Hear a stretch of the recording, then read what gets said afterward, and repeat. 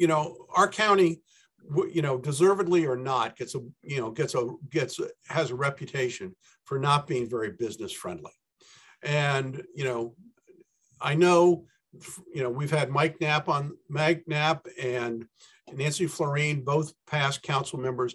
They know that, that we need to have businesses here in order to support ourselves. So, but this week, once again, we have the county council president, Evan Glass, announcing that he has a roadmap to develop Montgomery County's economic development.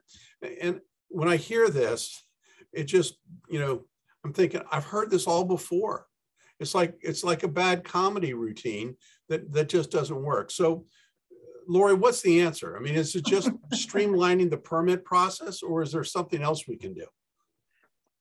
It reminds me was when I was on the state board of education and they were tackling Baltimore City, and I'd see them meeting in the walls of the state board building, and they're not going to accomplish that much if they're just meeting inside the building all the time.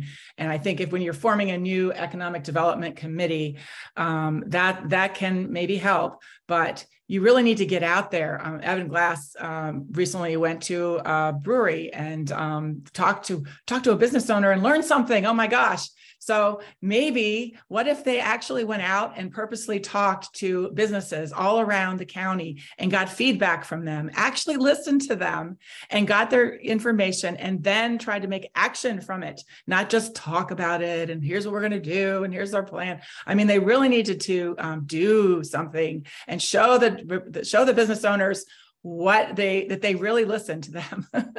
well, Mar- I got to go to Mara. Maricé, um, you know, is, is it just a matter of cutting red tape, or is there something else that we can do?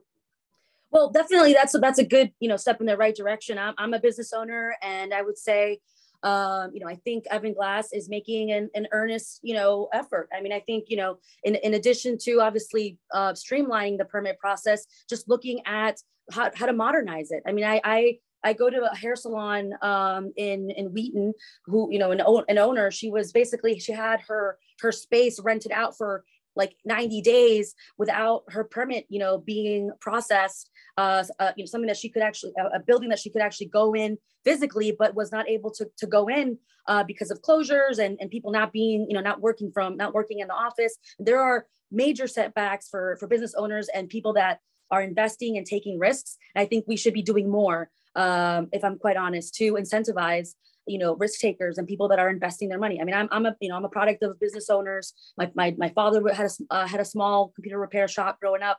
That's how we fed ourselves. I'm a small business owner, so I think the county does need to do a little bit more. Well, at least we found one one topic we have agreement on. So stay tuned for parting shots.